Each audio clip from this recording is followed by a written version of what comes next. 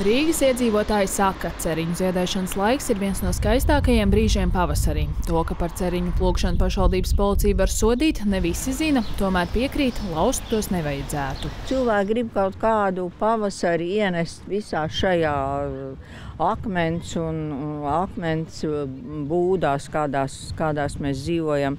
Cilvēki grib kaut ko ienest, nu, viņš nevar nopirkt, nu, viņš tur nolauž kādu zariņu no apakšas. Ja, protams, ceriņu la, lietas, lauž, nu, nu, kaut kāda pilnīga vardarbība. Nē, to es, to es kategoriski noliedzu. Tie ceriņi, kas ir pārliekušies manam, ne, nu, viņš nav manam īpašumam pāri, viņš ir manai žogam pāri, jā, viņi ir ziedskaisti. Tur ir tā, ka var iet un pasmaržot. Pagaidām viņi vēl tur ir.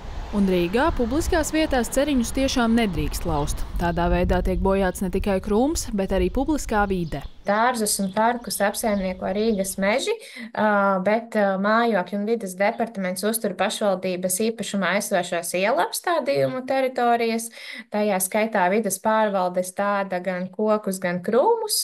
Intensīvi uztur tos pirmajos gados. Tas viss ko, kopumā budžeta ietvaros sastāda līdz pat vienam miljonam eiro. Pašvaldības policijā uzsver, ka salīdzinoši ziņojumi uz kopējo pārkāpumu fona nav daudz. 2022. gadā sodīti seši cilvēki, pērn divi.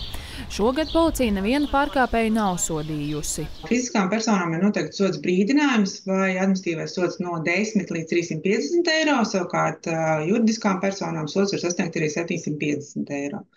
Līdz ar to tas attiecās gan uz krūmiem, gan uz puķiem, gan arī nu, uz citu veidu apstādījumiem. Drīzāk cilvēki ievērojot uz publiskajā telpā, kad šādi pārkāpumi tiek izdarīti, aizrāda.